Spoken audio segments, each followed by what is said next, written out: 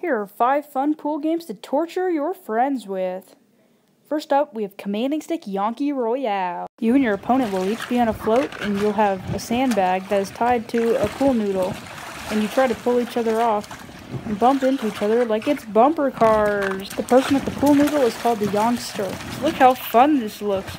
And when you fall off, your opponent gets a point. First to three wins. Next up, Splash Ball.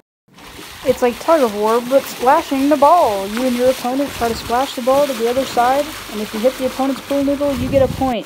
Round one, you just splash the ball. Round two, you can hit the ball.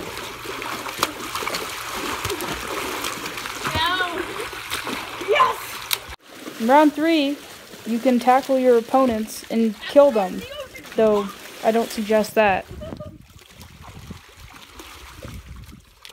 Next is splash ball time trials. You get a splash ball from one side to the other, and the opponents can obstruct.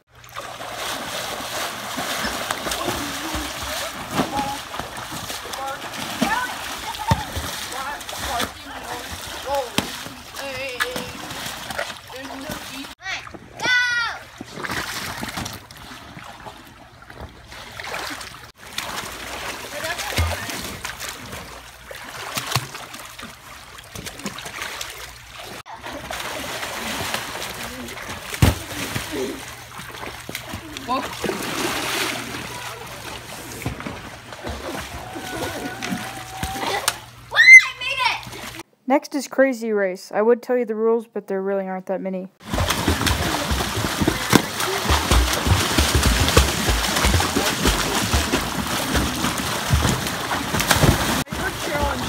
Next up is digital.